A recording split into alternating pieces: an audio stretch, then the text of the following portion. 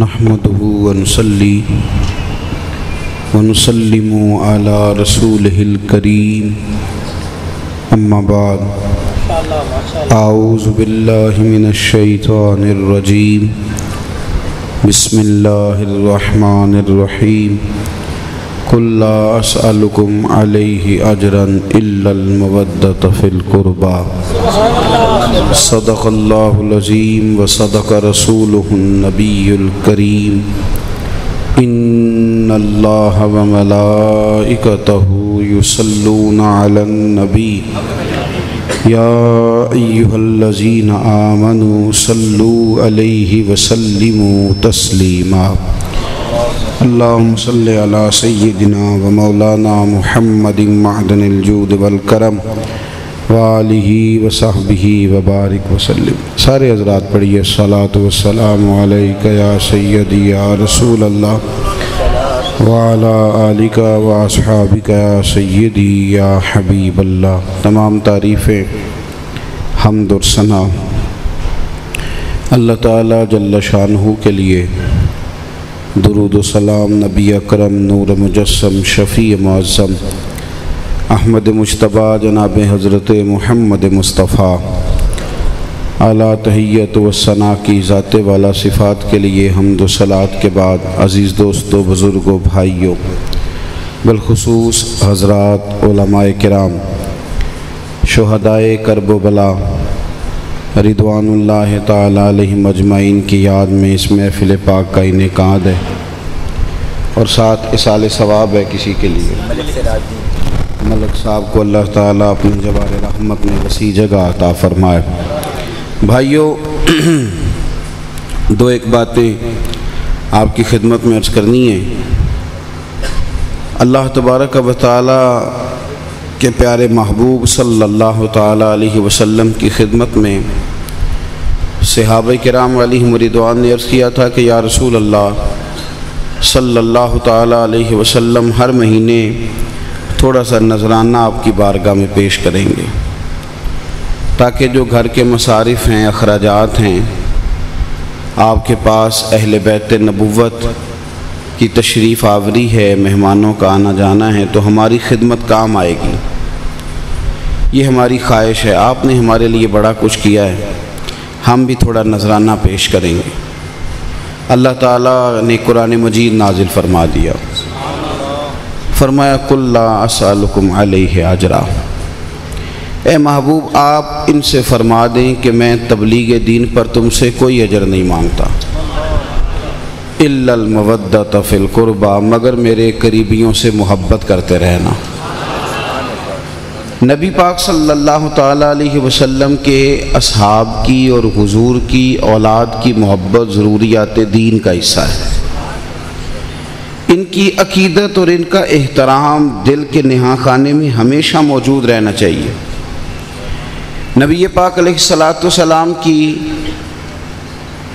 अजवाज मतहरात, हजूर की चारों शहज़ादियाँ, बिलखसूस सैदा फ़ातमत ज़हरा रदी अल्लाह तह की औलाद पाक, इनका एहतराम, इनका प्यार और उसका शौक़ हो हमारे दिलों के अंदर।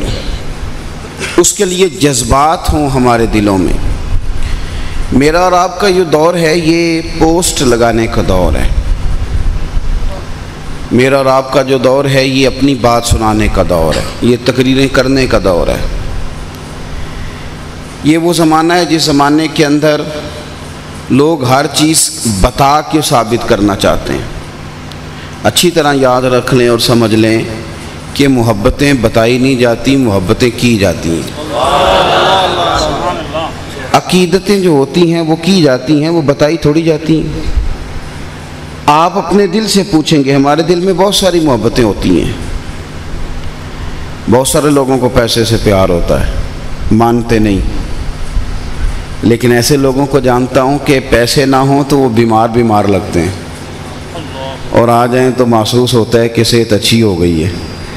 ये मिजाज है ना, इंसान का बदला नहीं जा सकता इल्ला माशाल्लाह। कुछ लोगों को शोहरत से बड़ी मोहब्बत होती उनका ज़रा इस्तकबाल तगड़ा हो जाए, नारे ज़रा सही लग जाएँ, और कोई बंदा आके कहे कि फ़लाने शहर में भी दस बंदे आपका नाम ले रहे थे तो उनका थोड़ा खून बढ़ जाता है। बस आप स्पीकर पे नाम ले दें, किसी बड़ी नशिस्त पे बिठा दें तो उनकी सेहत ठीक रहती है। कुछ लोगों को तारीफ़ से प्यार होता है।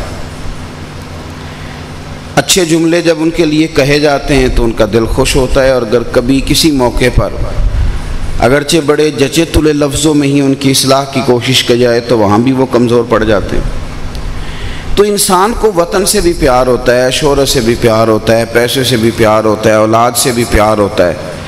और इस मोहब्बत का इंसान मुख्तलिफ़ अंदाज में इजहार करता है। हमें कहा गया है कि तुमने नबी पाक की औलाद से प्यार करना है।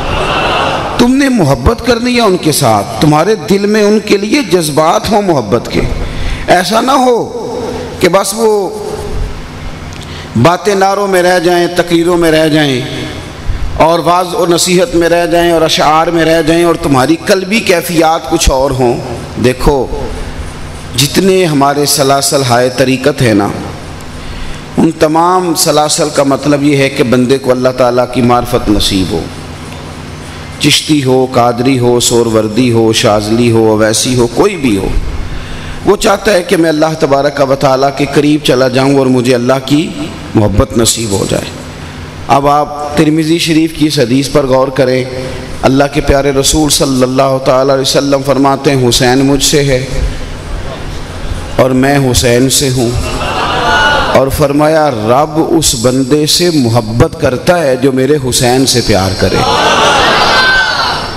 उसे अल्लाह की मोहब्बत नसीब होती है, वो रब के करीब हो जाता है।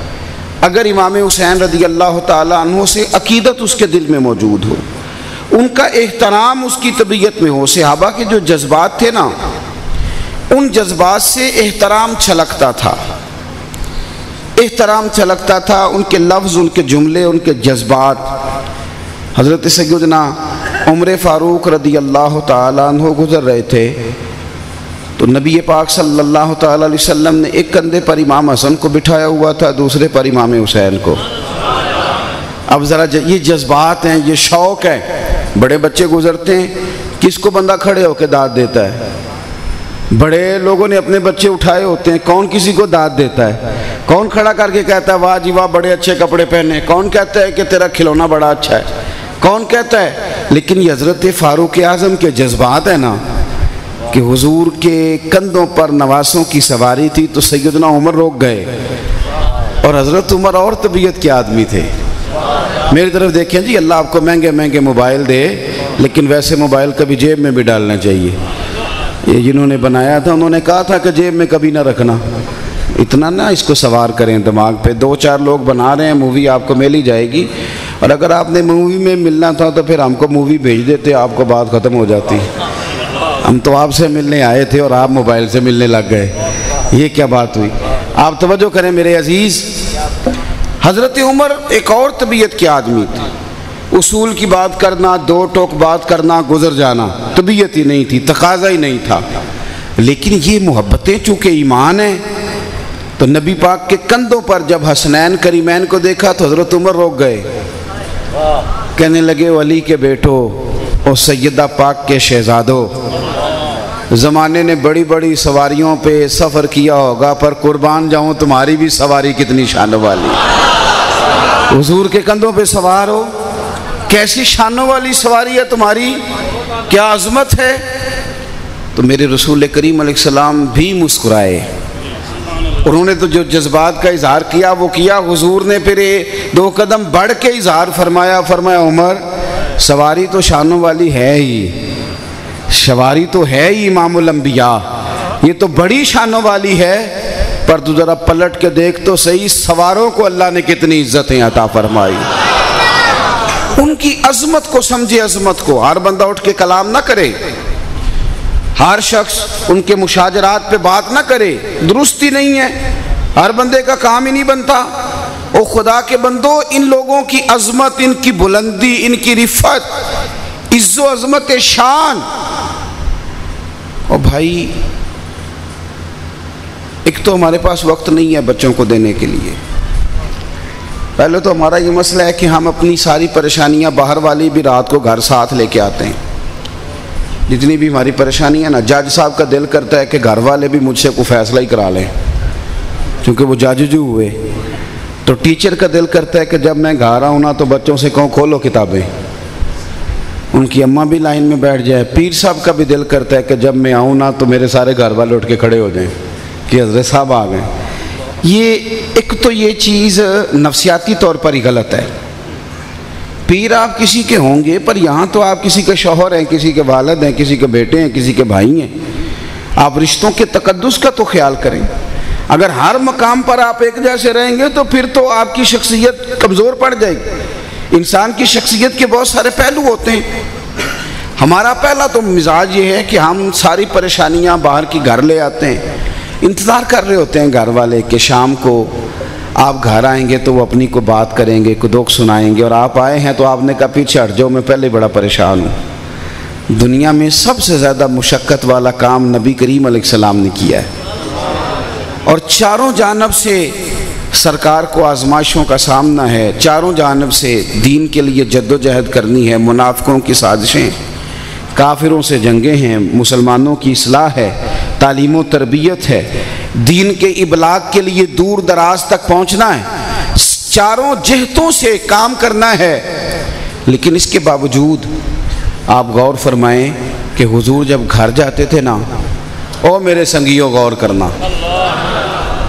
तो सैयद आयशा सिद्दीक़ा रदी अल्लाह ताला फरमाती हैं, हुजूर, जब तक घर रहते थे घर वालों का कोई काम ही करते रहते थे। हँसते, मुस्कुराते चेहरे से घर जाते। और फिर हुजूर ना घर वालों को वक्त देते। हम टाइम नहीं देते अपने बच्चों को, इसलिए हमारे बच्चे कभी किसी खारजी को दोस्त बना लेते हैं, कभी राफजी को बना लेते हैं। कभी किसी गुमराह के पीछे चले जाते हैं, कभी किसी गुमराह के पीछे चले जाते हैं। क्योंकि हमारी दोस्ती नहीं है उनके साथ। हमसे वो सवाल जवाब ही नहीं करते। अगर वो हमारे साथ उठे, बैठे, सवाल जवाब करें, बातचीत हमारी हो, फिर उनको पता हो कि ये मेरी जगह है दुख सुनाने वाली। हजूर बड़ी मसरूफ़ तरीन हयात मुबारक। तेईस सालों में मेरे नबी पाक सलाम ने इनकलाब बर्पा कर दिया पूरी दुनिया में, लेकिन इसके बावजूद हुजूर अपने घर वालों को वक़्त देते, सारा दिन नवाज़ से हुजूर के साथ खेलते थे। हती कि हुजूर नमाज़ पढ़ने आते तो वह नमाज़ में भी आ जाते। सजदा करते तो वो सजदे की हालत में भी हुजूर की मुकद्दस गर्दन पर सवार हो जाते। सारा कुछ होता, लेकिन फिर भी हुजूर एक दिन फरमाने लगे, फातिमा, मेरा दिल करता है, मैं रात भी तेरे घर में आके आराम करूँ। वो सारा दिन यहाँ रहते हैं। मेरा दिल है, आज रात तेरे घर में हुजूर करम नवाजी होगी, नसीब जाग जाएँगे। हुजूर सैयद आलम सलाम रात को सैदा पाक के घर तशरीफ़ ले गए। चारपाई पे आराम फरमाया और फिर हुजूर सलाम ने फरमाया कि आज ना हसनैन मेरे साथ सोएँगे। एक तरफ़ इमाम हसन को सुना लिया, एक तरफ़ इमाम हुसैन को सुना लिया। ये नाने ज़्यादा मसरूफ़ हैं आजकल। दादे ज़्यादा बिज़ी हैं हुजूर से। वो पीछे ले जाओ, जी मैं नमाज़ पढ़ता हूँ, ये बच्चा करीब ना आए। क्या बात करते हैं आप? हज़रत उमर फ़ारूक रदी अल्लाह तु एक बंदे को गवर्नर बना रहे थे। उसके घर बैठे हुए थे, गवर्नरी के दस्तावेज़ात, कागजात तैयार हो रहे थे, लिखत पढ़त हो रही थी। उस आदमी का छोटा सा बच्चा दौड़ता हुआ आया, अब्बा अब्बा कहता, करीब आया, कपड़ों को मिट्टी लगी तो कहने लगा, चल दौड़ जा अपनी अम्मा के पास। तू किधर आ गया? चल निकल। बच्चा चला गया तो हज़रत उमर कहने लगे, तेरा बेटा था। उसने कहा, हजूर, मेरा ही था। फरमाया, ये कागजात देना ज़रा। उसने दिए तो हज़रत उमर ने फाड़ दिए। फरमाने लगे, जो अपने बच्चों से प्यार नहीं करता, वो रियाया के बच्चों से क्या प्यार करेगा? जिसके दिल में अपनों के लिए जज्बात नहीं है, वो किसी और से कैसे करेगा? तू इस काबिल नहीं है तुझे गवर्नर बनाया जाए। आप मेरी बात को समझे? वक्त ही नहीं है हमारे पास। साहब के पास खाना खाने जाने के लिए वक्त है, और छः घंटे का आने जाने का। इनके पास दोस्तों के साथ ठंडी जगहों पे, सैरगाहों पे जाने का वक्त है। दोस्तों को देने को, औलादों को टाइम नहीं देते। वो आपके साथ, मेरे साथ अटैच नहीं होते। फिर वो दूर निकल जाती हैं बातें। हमें समझ ही तब आती है कि जब वो उनकी दोस्ती भाई से ज़्यादा किसी और के साथ लग जाती है। तो हुजूर ने दोनों शहजादों को साथ सुलाया। आप इनकी अजमत देखें और फिर मेरे हुजूर सलाम का वक्त देने का तरीका देखें। रात का वक्त हुआ तो छोटे बच्चे रात को दूध मांगते हैं। इमाम हसन ने दूध मांग लिया। सैयदा पाक कहती है, मैं उठने लगी तो हुजूर फरमाने लगे, फातिमा, तू लेट जा, सोए मेरे साथ हैं, दूध भी मैं ही पिलाऊँगा। उठ के हजूर बकरी के करीब गए और दूध धोना शुरू कर दिया। दूध धोना शुरू कर दिया करीम महबूब ने। कोई अर्ज़ नहीं, कोई। हमारी ना रिश्तेदारियाँ बड़ी बच्चों से थोड़ी थोड़ी सी हैं। थोड़ी थोड़ी रिश्तेदारियाँ मसलन अगर तो बच्चे ने पाउडर लगाया हुआ है, कपड़े उसके साफ़ सुथरे हैं तो फिर तो वो पोता भी है, भतीजा भी है, भांजा भी है। और अगर वो पेशाब कर दे तो? कहते सदो यदि माँ भैया अब रिश्तेदार नहीं तुम्हारा? अब क्या हुआ है? अच्छा जब तक वो बच्चा हंसता है तो सबका रिश्तेदार है। और अगर रो पड़े तो? बोले, ना। बुलाओ इसकी अम्मा को। बस आप बात को समझ लो। तेरे सब के साथ ही रिश्ते हैं, तेरे सब के साथ ही ताल्लुकात हैं। ओ मिल्लत के जवान, याद रख, तेरा सबसे रिश्ता और ताल्लुक उतनी देर है जितनी देर तू हंसता है। और जब तू रो पड़े तो तेरा रिश्ता सिर्फ़ तेरे माँ बाप से रह जाता है। फिर तेरा ताल्लुक सिर्फ़ उनसे रहता है, जिन्होंने सब कुछ तेरे लिए निछावर कर दिया। अल्लाह के प्यारे हबीब सलाम आराम फरमाए। इमाम हसन ने दूध मांगा, हुजूर उठे, बकरी का दूध धो रहे थे। इतनी देर में इमाम हुसैन ने भी मांग लिया। हुजूर ने दूध प्याले में डाला, पहले इमाम हसन को दिया। सैदा फरमाती है, मैंने अर्ज़ की, हुजूर लगता है, हसन से ज़्यादा प्यार है। तो हुजूर मुस्कुराए, फरमाया, नहीं फातिमा, प्यार दोनों से बड़ा है, पर हसन ने दूध पहले मांगा था ना। मोहब्बत दोनों से बड़ी। तो इनकी अजमत को अपने सीने में खूब अच्छी तरह बिठाएँ, अच्छी तरह। मैं बड़ी ज़िम्मेदारी से आपकी खिदमत में अर्ज़ करूँ, बड़े जलसे होते हैं, बड़े नारे लगते हैं, बड़ी तकरीरें होती हैं। और अब तो जोशीले ख़तीब और फुर्तीले लोग और स्टेज पे कब्ज़ा ही उन लोगों का होता है जो आग सही लगाएँ। हमारे मुल्क में तो मिजाज बन गया ना कि माज अल्लाह कोई कल हज़रत सिद्दीक अकबर की बेदबी करे और आज उसको वीज़ा दे दिया जाए कि तू चला जा बरतानिया। ये बाकायदा प्रमोट किया जाता है। उन लोगों ने तबाही इसलिए फैलाई है कि सारी चीज़ को उन लोगों के हमने हथे चढ़ा दिया जो इस काबल ही नहीं थे। कि उनकी ज़ुबानों से ये बातें भी सुनी जाती। आप अच्छी तरह समझ लें कि जज्बात हमारे दिल में हो हसनैन के लिए। और उसका असर हो।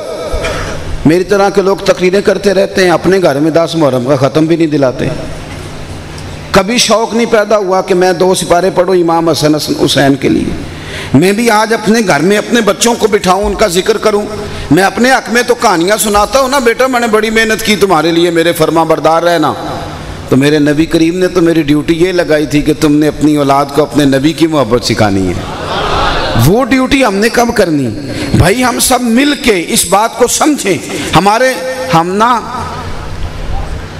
आपका तो नहीं मुझे पता, लेकिन हमारे ये होता था कि मैं आज से ना को पंद्रह अठारह साल पहले किसी बूढ़े बाबा जी से जिनकी उम्र सत्तर अस्सी साल होती थी, पूछते थे ना, आपका नाम क्या है? तो वो कहते थे गुलाम हुसैन।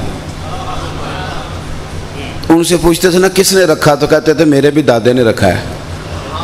माना क्या था कि मोहब्बत का इजहार था कि सौ साल पीछे चले जाएँ तो जो पोता पैदा होता था ना, दादा का दिल करता था, कभी ये इमाम हुसैन का गुलाम हो जाए ना।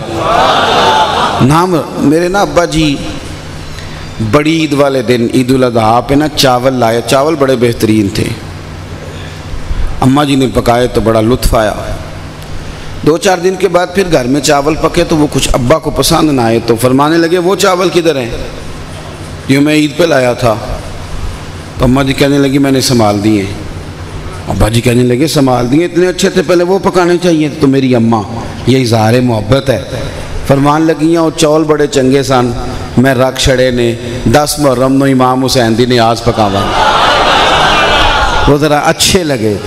और तू अपने बच्चे के वलीमे की दावत करता है, संगी तो तू गोश्त भी देखता है, तू चावल भी देखता है, तू बवर्ची दूर से भी मंगाना पड़े तो मंगाता है। बड़ी मेहनत करता है चूँकि मेरे बच्चे का वलीमा है। और तो इमाम हुसैन की न्याज पकाए तो तू किसी को फ़ोन कर देता है कि एक देग भेज देना। तूने कभी पलट के देखा ही नहीं। तू सोच तो सही, वो मोहब्बत जो ईमान की जान है, तू गौर तो कर, तेरे जज्बात हैं कि नहीं? अच्छी तरह समझ कि अगर तेरे दिल में उनका नाम आने से शौक पैदा नहीं होता, अगर तेरी तवज्जो नहीं होती, अगर सैयदा पाक का नाम आने से तेरी नज़रें झुकती नहीं तो फिर अभी तू तकरीरों में है, अभी तू पोस्टों में है, अभी तू सोशल मीडिया पे है अभी तू कलाम में है, अभी तूने एक सफ़र भी तय नहीं किया, तू आगे कैसे बढ़ेगा? अज़ीज़ दोस्तों, याद रखना, सबसे पहले तो इनकी अकीदत, इनका एहतर और दूसरी बात, अदब जो होता है ना, अदब, वो मुआशरे में हुसन पैदा करता है, और बेदबी बदबू पैदा करती है, ताफुन पैदा करती है। बेदबी बजाते खुद एक नक्श है। आपके अब्बा ने बड़ी मेहनत से पाला, अम्मा ने बड़ी मुशक्क़त से पाला। आपने कुछ भी नहीं किया।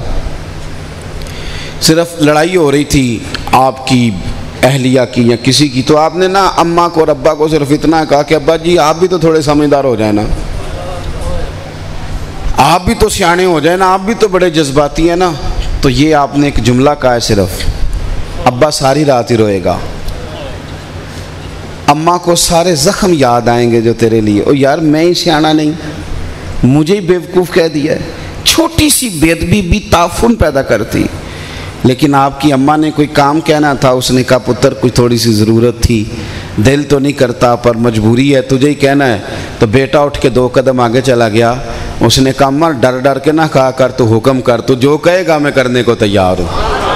रोएगी इसकी अम्मा भी सारी रात ही, रोएगा इसका अब्बा भी सारी रात ही, पर दुआएँ करते रोएँगे। कहेंगे, या अल्लाह, इस तरह की औलाद सबको देना। जब आप सोसाइटी में देखे ना, एक शागिर्द वो है जो गुजर गया टीचर के पास से। गुजर गया, सलाम ही नहीं ली तो तकलीफ़ हुई उस्ताद को। क्या ले लेना था उस्ताद ने उससे? तो गुजर गया, तकलीफ़ हो गई। एक एक स्टूडेंट वो था कि वो पीएचडी है, बहुत बड़ा ऑफिसर है। और सवा करोड़, डेढ़ करोड़ की गाड़ी में बैठता है और टीचर उसके मैट्रिक पीटीसी हैं। लेकिन उसने देखा कि टीचर साइकिल पे आ रहे थे, गाँव से ये गाँव जा रहा था, अचानक नज़र पड़ गई। इसने गाड़ी साइड पे खड़ी की, उस्ताद जी को सलूट किया।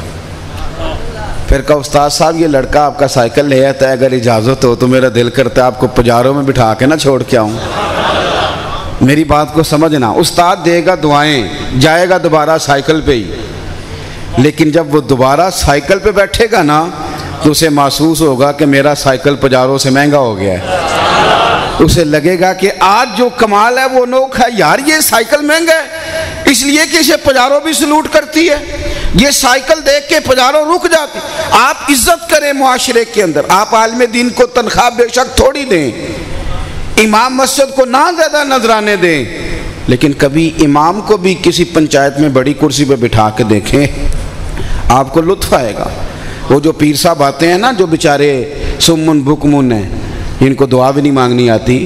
उनके लिए जब आप नशिस्तें बिठाते हो, और इमाम आपका जिसने आपकी तीन नस्लों को कुरान मजीद अलिफ बा तासा से लेकर वन्नास तक पढ़ाया है, कभी उससे भी दुआ करा के देखो, मेरा ख्याल है कि जाहिल पीर से इमाम की दुआ जल्दी कबूल होती है।